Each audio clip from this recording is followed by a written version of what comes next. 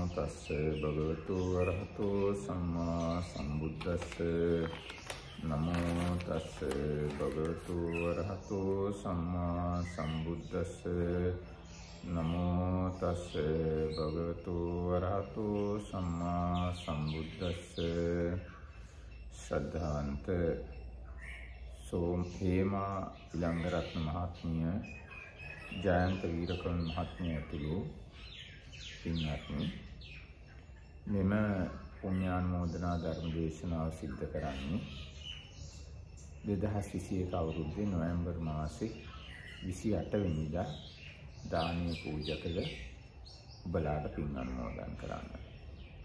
2021 අවුරුද්දේ නොවැම්බර් මාසේ 28 වෙනිදා ශ්‍රී සුමතිපාල නාහිමි සෙනසුන් අරණට දානවාරයේ බාර අරගෙන හීල් දානයක් දවල් දානයක් පූජ කරන්නට යෙදුණි හේමා ඉලංගරහත් ඉලංගරත්න මහත්මිය ජයන්ත වීරකොන් මහත්මිය තුළු පවුලේ පින්වතුන් විසින්.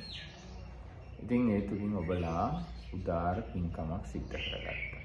ඒ සිද්ධ කරගත්ත පින්කම පිළිබඳව නැවත වතාවක් සිහිපත් කරලා බලලා පරලෝකප්‍රාප්ත ඥාතීන්ට පින් අනුමෝදන් කරන්නයි විශේෂයෙන්ම මේ අවස්ථාවේ සූදානම් වෙන්නේ. ඔබලා ඔබලාගේ ධාර්මික ධනය නිර්ලෝභීව වියදම් කරලා දාන වස්තුවක් පිළියෙල කරවලා ඒ දානෙහි අග්‍රභාගය තුන් ලෝකාග්‍ර භාග්‍යවත් බුදුරජාණන් වහන්සේ දෙසා බුද්ධ පූජා වශයෙන් පූජා කරලා අනික් දාන භාගය ශ්‍රී සුමතිපාල නාහිමි සෙනසුන් අරණේ වැඩ වාසය කරන භික්ෂුන් වහන්සේලාටත් සිල් මෑණිවරුන්ට උපාසක උපාසිකාවන් ඇතුළු විශාල පිරිසකට පූජා කරගන්න තිබුණා. බොහෝ දෙනෙක්ට ජීවත් වීමට ශක්තිය ලබා දුන්නා. අනිත් අයට ආයුෂ ලබා දුන්නා. ඒ වගේම නිරෝගී බව, ශක්තිය, සැපය හා ප්‍රතිභානය ලබා ගන්න උපකාර වෙන පූජාවක් සිදු කළා.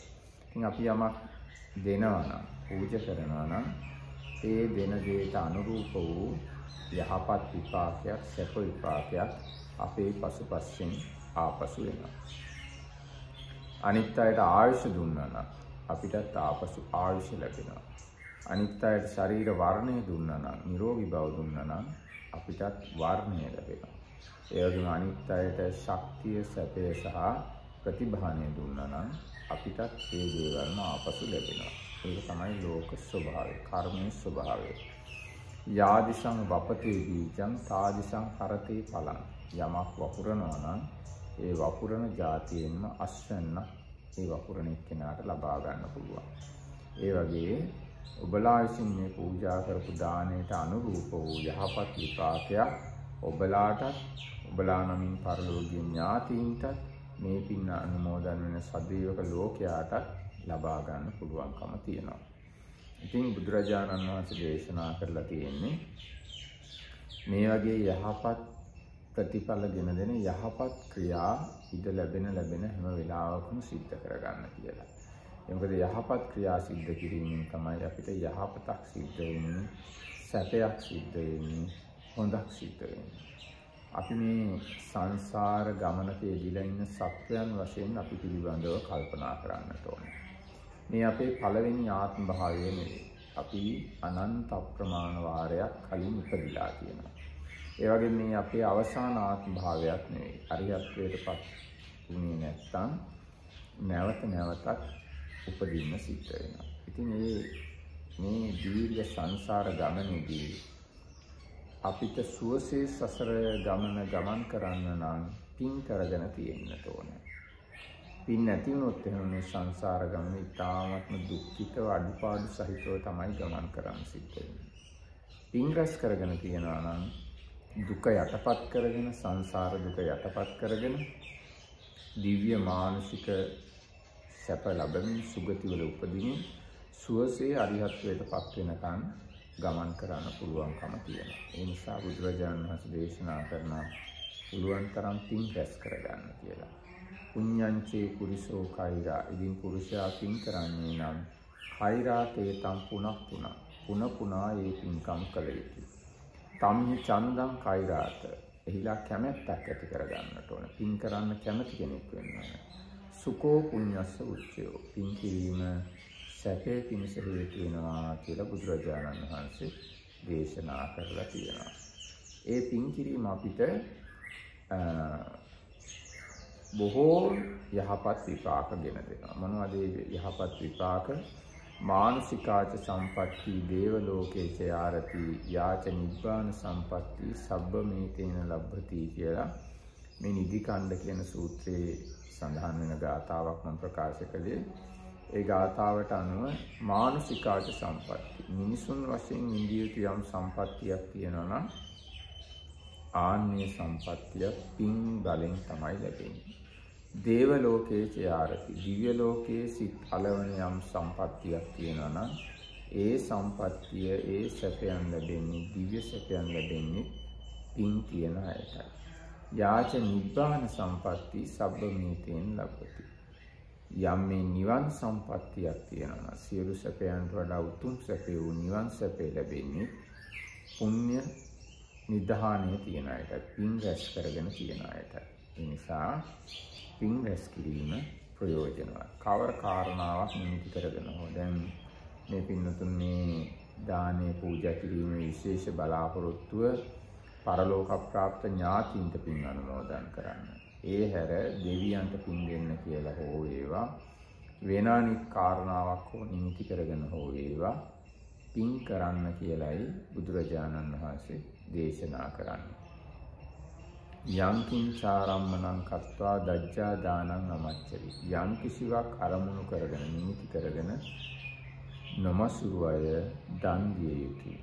උබ්බ පේතේච මාරබ්බ අතවා වත්තු දේවතේ. ගෙදරට අධිග්‍රහිත දෙවියන්ට පින් දෙන්න කියලා හෝ වේවා මිය පරලෝකීය ඥාතීන්ට පින් දෙන්න හෝ කියලා වේවා කිසියම් නිමිත්තක් අරමුණක් තබාගෙන පින් සිද්ධ කරගන්න ඕන කියන එකයි බුදුරජාණන් වහන්සේගේ අදහස. මේ අනුව නොවැම්බර් මාසයේ 28 වෙනිදා ඔබලා උදාර පින්කමක් සිද්ධ කරගන්නට යෙදුණා. මේ සිද්ධ කරගත්ත පින්කම සිද්ධ කරගැනීමේ විශේෂ අරමුණු රාශියක් සඳහන් කරලා තියෙනවා. පළවෙනි එක තමයි 1962 අවුරුද්දේ පරලෝසපත් වුණු YMW බණ්ඩාර මහත්මයාට පින් දෙන්න. ඊගාට 2017 අවුරුද්දේ දෙසැම්බර් මාසේ පරලෝසපත් වුණු ශ්‍රීනිකා කුමාරී වීරකෝන් මහත්මියට පින් දෙන්න.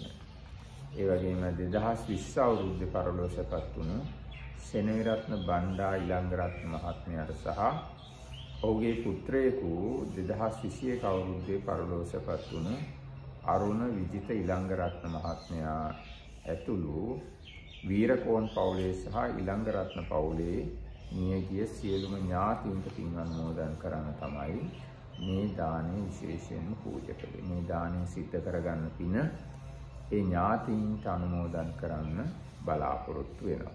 ඉතින් සිද්ධ කරගත්ත මේ උදාර උතුම් පුණ්‍ය සම්පත්තිය නැවත සිහි කරලා සන්තෝෂ වෙන්න.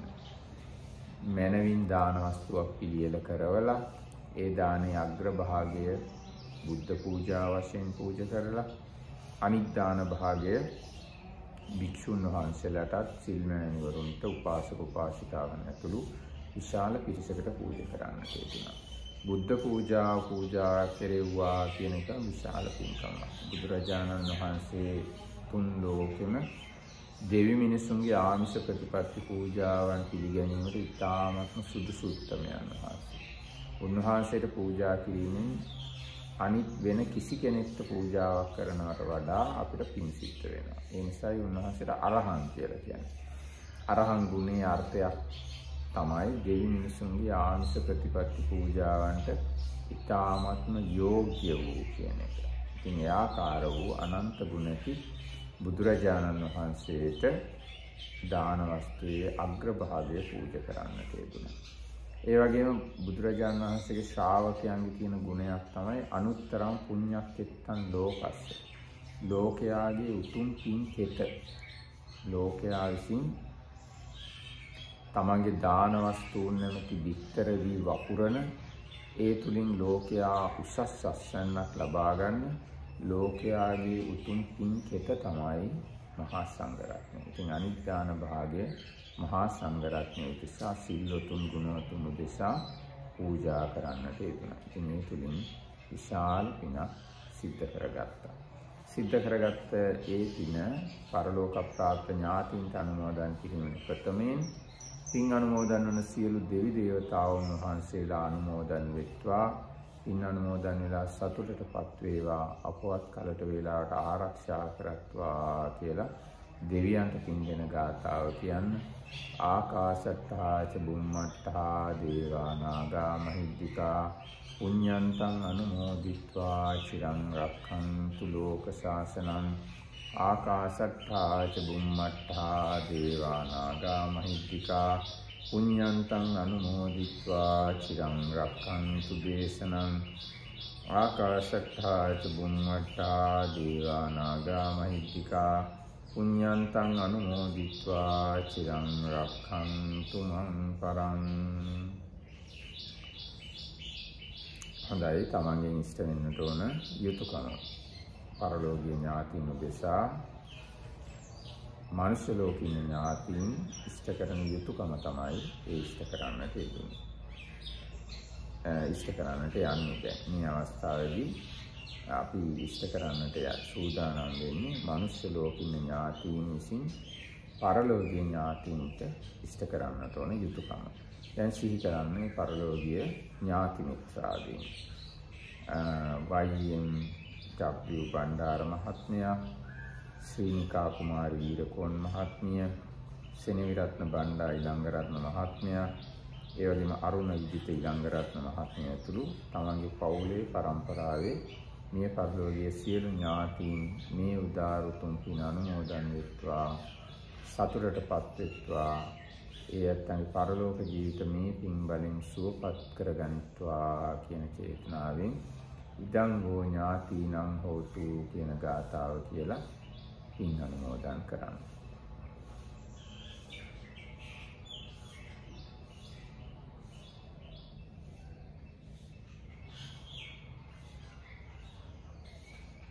හොඳයි Tamanගෙන් පරලෝකීය ඥාතීන් ඉෂ්ට වෙන්නට ඕන යුතුයකම කළ හැකි උදව්ව උපකාරය මේ වෙලාවේ සිද්ධ කරන්නට යෙදුණා.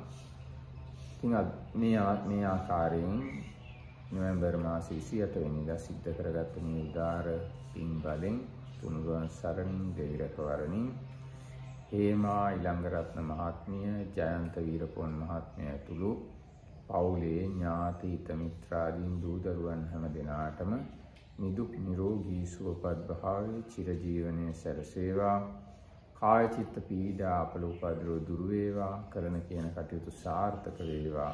තව තවත් පින් කරගන්න මාර්ගය පෑදේවා.